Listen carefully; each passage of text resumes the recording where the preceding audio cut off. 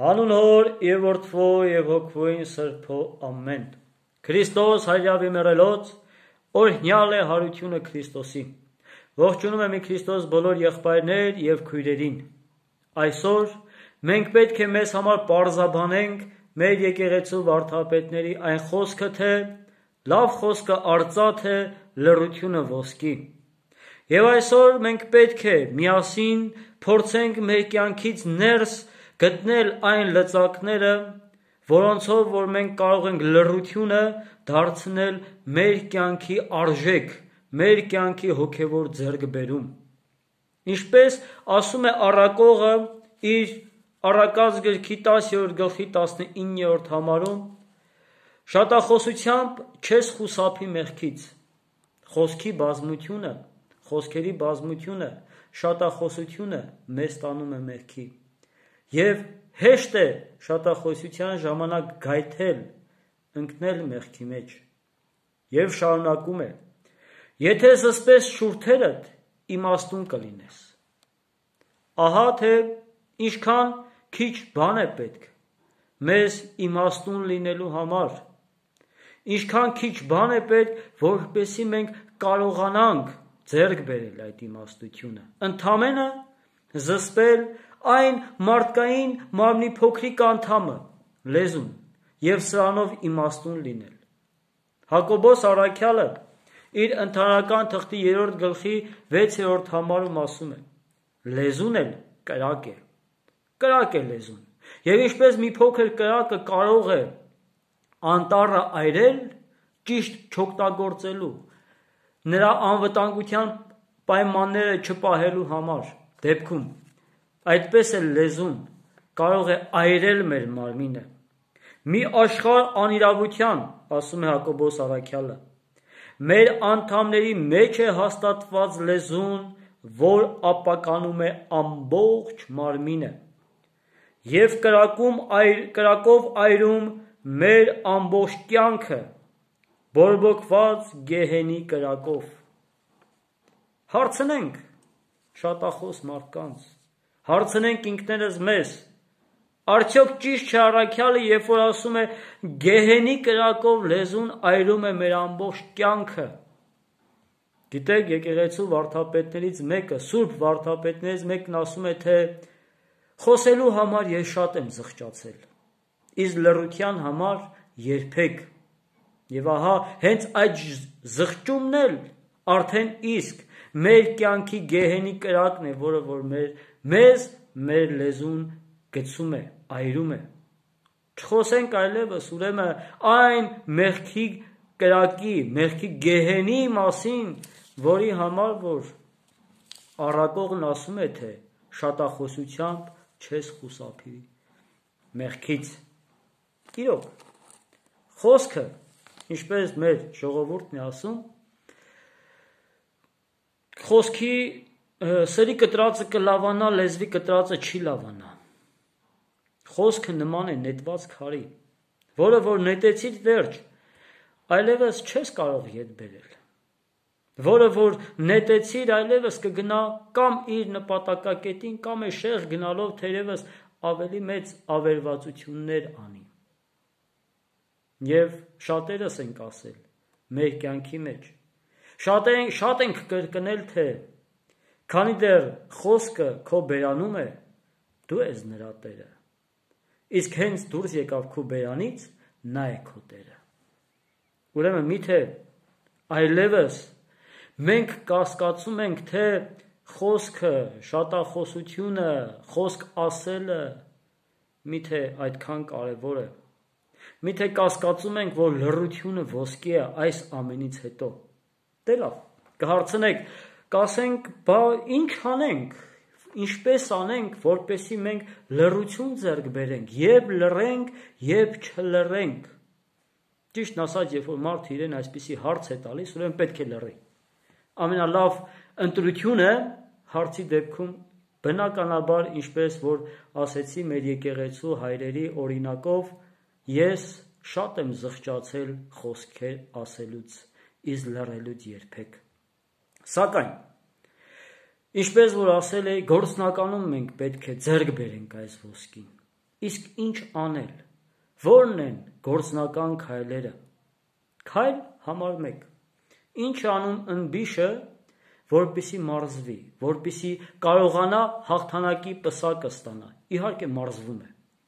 Մենք էլ պետք է մարզվենք լռության մեջ։ Ամեն օր սիստեմատիկ կերպով գեղեցիկ խնամված եւ հարդարված մենք պետք է ունենանք մեր լռության րոպեները, ժամերը, պահերը օրվա մեջ պետք է որոշենք, որ մենք այլևս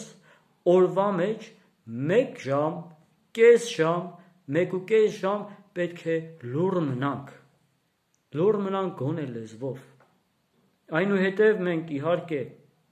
կանցնենք մտքի լռությանը, մարմնի լռությանը նաև։ Սակայն սա կարծես թե մի մեծ թեմա է։ Եվ այս մեր որոշած օրվա մեջ լուր մնալու պահերը մենք պետք է, այսպես ասենք, սրբորեն պահպանենք որպեսի վարժվենք լռության մեջ։ Երկրորդ, մեր կյանքի ընթացքում շատ ժամանակ մենք բնականաբար ստիպված ենք խոսելու։ Բայց երբ որ երկար բացատրությունների կարիք չկա, երբ որ մեկ խոսքը կարող է բավարար լինել, ուրեմն սահմանափակվենք այս մեկ խոսքով։ Եկել եմ ուշացած աշխատանքի ասեմ, կներեք, ես ուշացել եմ, վերջ Ոչ թե գիտեք, մեքենան ուշացավ, ես իմ համարը բաց թողեցի, ճանապարհները խցանված էր եւ այլ եւ այլ, օ կներեք ես ուշացա, վերջում նորից ասելով կներեք ես ուշացա։ Սա երկրորդ։ Այսինքն բավարարվենք կարճ բացատրություններով, եթե սրա անհրաժեշտությունը կա։ Երբեմն մենք մի միջավայրում ենք, որտեղ որ ինչ որ խոսակցություն է գնում եւ ինչպես որ ժողովուրդն է ասում, կոտրած գթալի նման մեջ չընկնելը։ Չկարծենք, թե մենք ամեն ինչ գիտենք, չկա այդպիսի մարդ, որ ամեն ինչ իմանա։ Եվ մենք պետք է անպայման մեր կարծիքը հայտնենք։ Թողենք խոսակցությունը գնա իր հունով, չխառնվենք, մեզ ամենագետ չերևակայենք։ Ուղակի լուր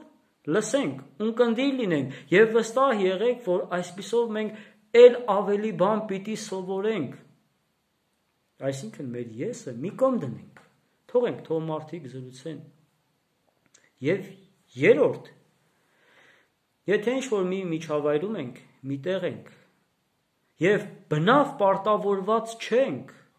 խիստ պարտականություն չկա զրույց սկսելու, ուրեմն մենք մեզ պարտավորված չզգանք զրույց սկսելու թողնենք ուրիշ մարդկանց, լսենք նրանց, մեր կարծիքը, մեր ճաշակ ուրիշին չթելադրելով։ Եվ նաև ամենակարևորը, չնայած այս բոլորն էլ կարևոր է լռության մեջ, լռություն սովորելու համար։ Մեր շուրթերը հերու պահենք շուրթերի, շուրթերով, լեզվով, բերանով գործվող մեղքերից։ Որոնք են դրանք դատելը, մարդկանց դատելը, բամբասելը, հեռու մնանք այսպիսի բաներից։ Բարգությամբ մարդկանց խոսք ասելը, մարդուն չարախոսելը,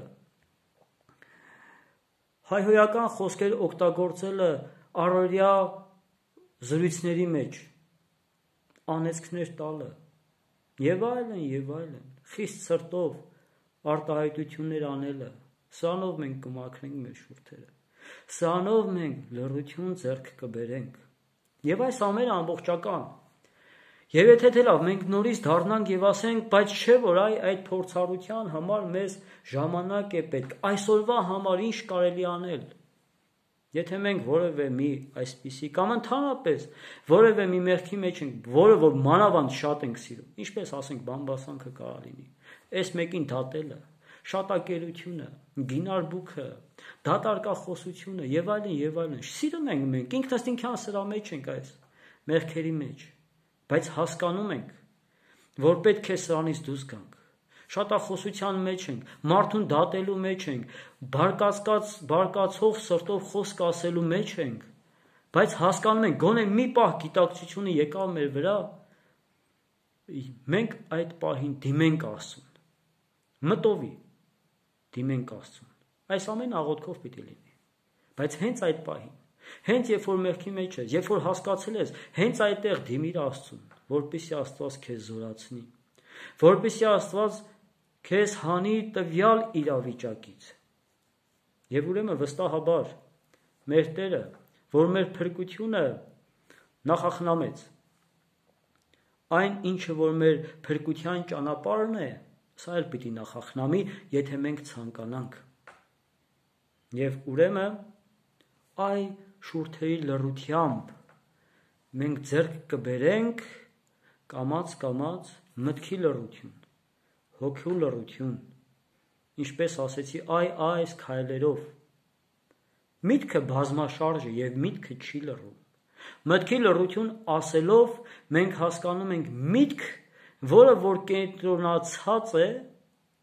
աստվածային տնորինության վրա։ Մարդու միտքը կենտրոնացած է սեփական անձի մեղավոր վիճակի վրա,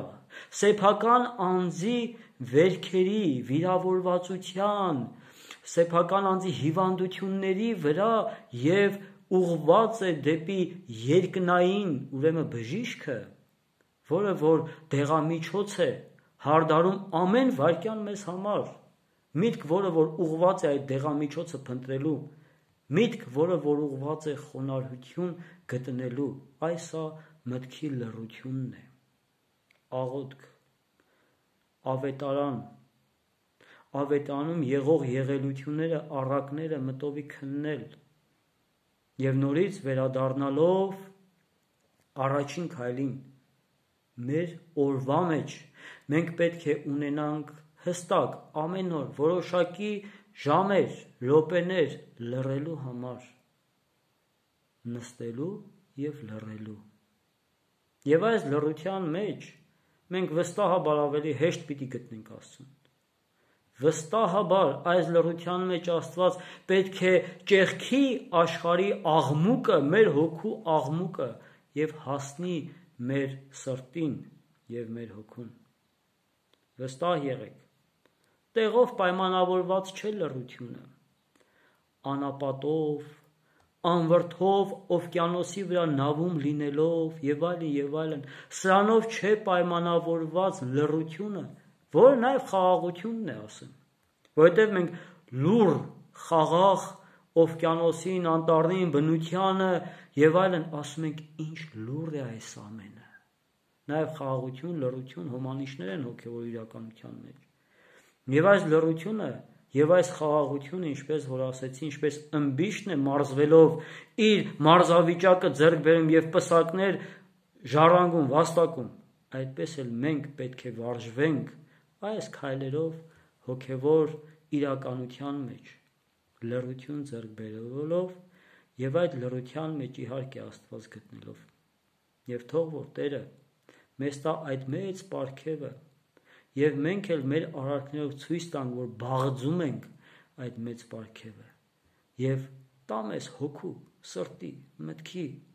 լրություն հանդարտություն հանգստություն այժմ